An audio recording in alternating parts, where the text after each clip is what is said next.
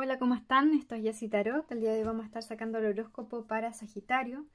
Vamos a ver si su personita especial ya lo olvidó o todavía siente algo por él.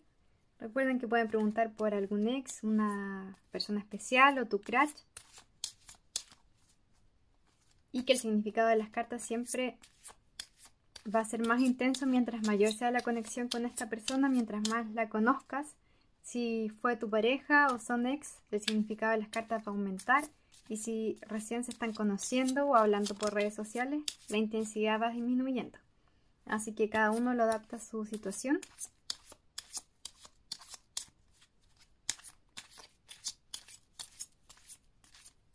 Bien, vamos a sacar tus energías y las de tu personita especial. En la base de la baraja tienes la carta de conversación corazón a corazón. Esta carta nos indica que hay algo que se tienen que decir, algo que tienen atragantado en la garganta, necesitan una conversación sincera, honesta, para que las cosas entre ustedes se fluyan de forma más positiva. En tu energía tienes la carta de poner atención a las banderas rojas y este puede ser el indicado. Estas cartas hablan de que sientes que esta es la persona correcta para ti, que te puede complementar muy bien, pero de todas formas estás un poco a la defensiva, quizás has visto cosas que no te han convencido del todo. Y por eso tienes esa carta de conversación corazón a corazón. Quizás necesitan aclarar cosas en su relación, en su conexión. En el caso de tu persona especial tiene la carta de reconciliación y luna de miel. Bueno, esta carta es bastante clara. Habla de que hay cosas que necesita decirte, ahí tiene arrepentimientos, está con la disposición de que las cosas se mejoren entre ustedes, de que se restablezca la comunicación, de que hayan avances en su vínculo. Vamos a ver qué nos dice el tarot respecto a esta situación. Vamos a ver si la personita especial de Sagitario ya olvidó Sagitario o no.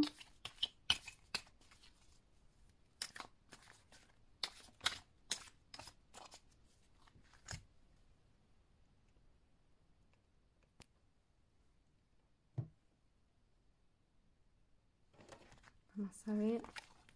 Vamos a sacar cinco cartas.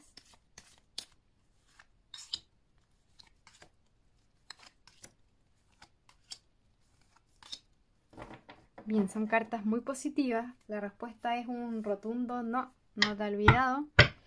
En la base de la baraja tienes el 10 de pentáculos, que habla de proyección, de estabilidad, de querer formar una familia, no para todos los casos, para algunos.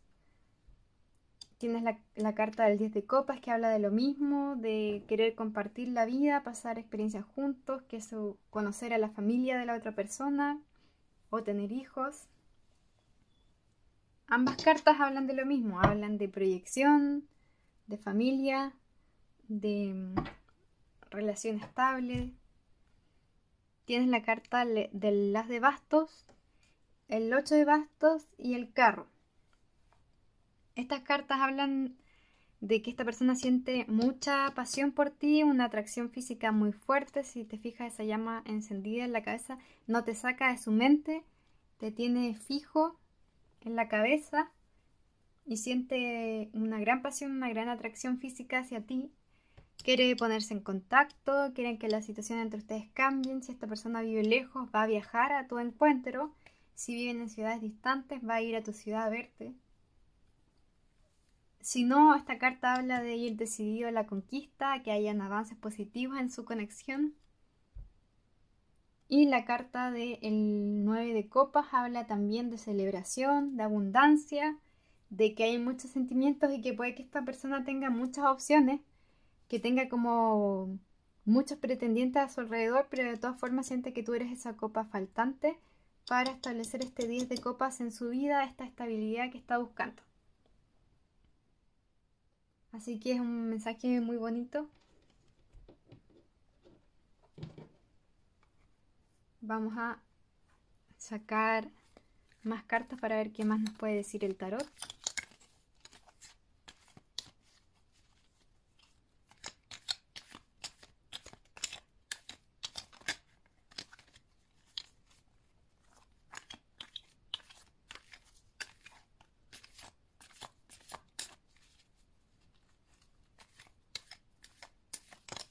Bien, ahí saltó la primera carta. El 6 de Pentáculos habla de la intención de compartir, de trabajar en conjunto, de que ninguna parte dé más que la otra, sino que sea un equilibrio. Tienes el paje de pentáculos. Bien. En la base de la baraja tienes el rey de espadas. Puede que estés lidiando con alguien de signo aire.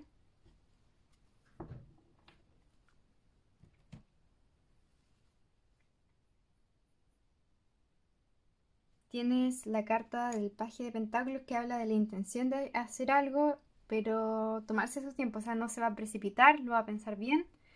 Se va a tomar su tiempo y va a ir lento pero seguro.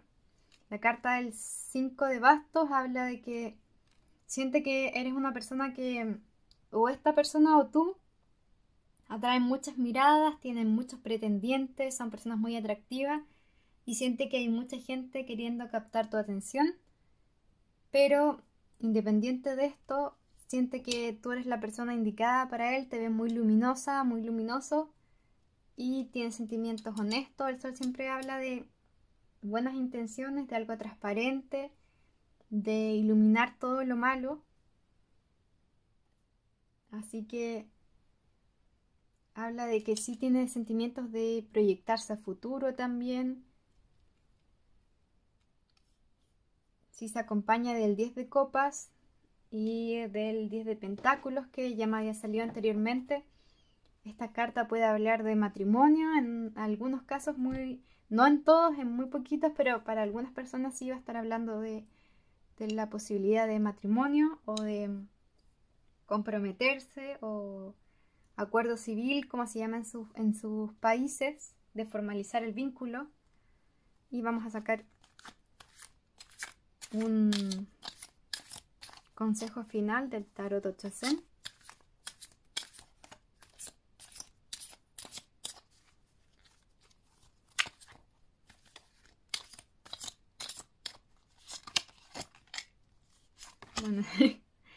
las cartas están hablando bastante en concordancia. Tienes la carta de el 6 de Pentáculos que habla de compartir y la carta de compartir habla de una persona que, que es muy generosa.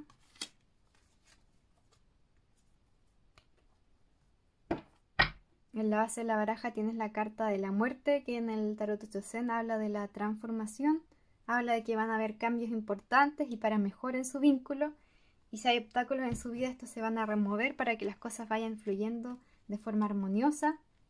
Tienes la carta de compartir, de el maestro o la maestría en la vida.